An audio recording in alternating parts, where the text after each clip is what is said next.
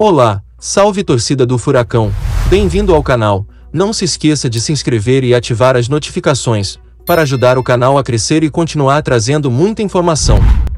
O Atlético anunciou em seu site e mídias sociais os jogadores que estão inscritos pelo clube nesta primeira fase da Copa Libertadores da América que tem início nesta terça-feira. Foram listados 50 atletas do time principal, aspirantes e algumas promessas das categorias de base.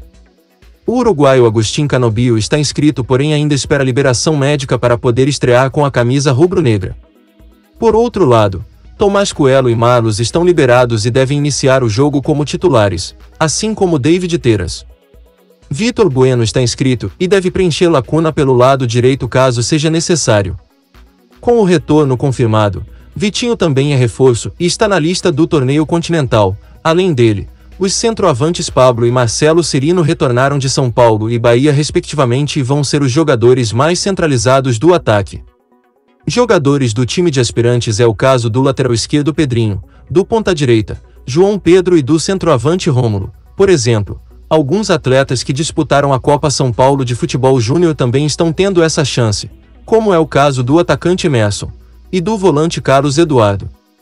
O goleiro Santos já foi desligado do clube, com isso, o arqueiro Bento é o substituto direto do camisa 1. Deve assumir a titularidade.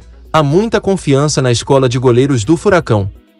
Confira a lista completa do Furacão para essa fase da competição, na descrição do vídeo. O que você acha? Vamos brigar por todos os títulos esse ano? Comenta, deixa um like e se inscreva no canal. Até o próximo vídeo.